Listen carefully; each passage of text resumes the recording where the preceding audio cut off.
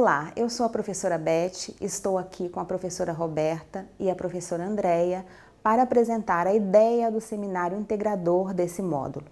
Esperamos que você e seu grupo desenvolvam uma boa pesquisa, pois o trabalho tem caráter prático e será bastante desafiador. A disciplina de gestão da qualidade será provocadora do tema. O grupo deverá escolher uma empresa, uma real indústria, que possui um problema em algum processo produtivo existente e identificar esse problema. Como parte da disciplina de gestão de qualidade, o seu grupo deverá escolher uma ferramenta para realizar o diagnóstico do problema detectado e descrever.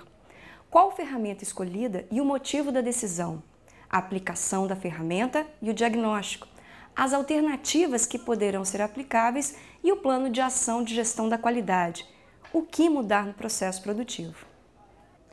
O objetivo do seminário é o de integrar o conhecimento das disciplinas no contexto de aplicação a uma situação de problema em processo produtivo real.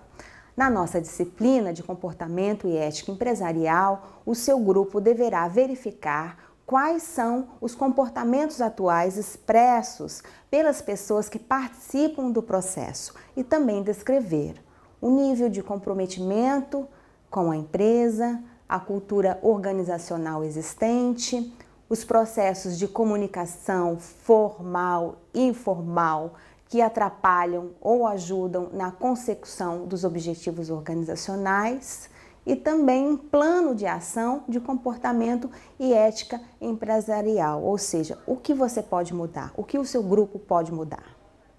Para completar o trabalho integrador, o seu grupo deverá verificar e analisar os documentos formais da empresa que dizem respeito aos processos e descrever quais documentos são disponíveis para padronizar os processos produtivos, a estrutura de pessoal a ser utilizada para o atendimento dos padrões esperados pela empresa e as relações de trabalho identificadas, terceirização e outros. O plano de ação das relações de trabalho em prol dos novos padrões. Será um trabalho muito interessante. Estaremos na torcida por todos. E lembre-se que a nota do trabalho integrador é válida para todas as disciplinas e é necessário verificar as normas de apresentação do trabalho escrito e oral nas orientações gerais. O seu empenho e talento serão importantes para o desenvolvimento do trabalho em equipe. Desejamos a você sucesso!